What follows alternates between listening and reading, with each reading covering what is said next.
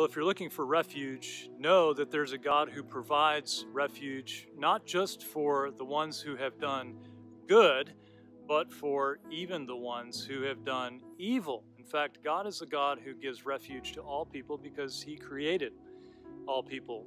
Psalm 31 says this In you, O Lord, do I take refuge. Let me never be put to shame. In your righteousness, deliver me. Incline your ear to me and rescue me speedily. Be a rock of refuge for me, a strong fortress to save me. For you are my rock and my fortress, and for your name's sake, you lead me and you guide me. You take me out of the net that they, your enemies, have hidden for me, for you are my refuge. Into your hand I commit my spirit, for you have redeemed me, O Lord, faithful God. We're in a day and an age when it's more and more uh, real that we need a place to find refuge. We need a, a person in whom we can rest. And that person is God Himself.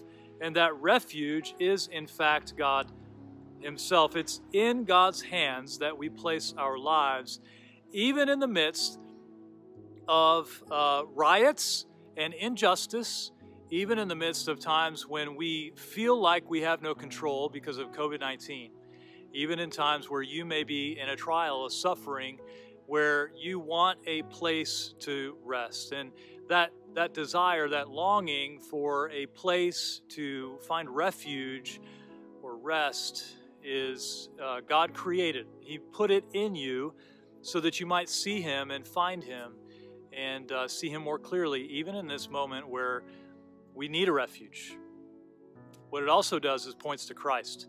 We see at the very end of this statement here in Psalm 31, especially verse 5, it's the, it's the verse that Jesus quoted on the cross. He said, Into your hands I commit my spirit. He is allowing the Lord to be the God who is the faithful one and the refuge for all people, even the ones who are our enemies. And so, what we do when we put our trust and our faith in the Lord is that we say, not just for ourselves, but for the world, that there is a God in whom you can take refuge, and we find him in the Bible, we find him in a relationship through Christ, and we find him even in the moment when all of our sins, all of the brokenness, all of the injustice is placed on the person of Jesus, Jesus himself.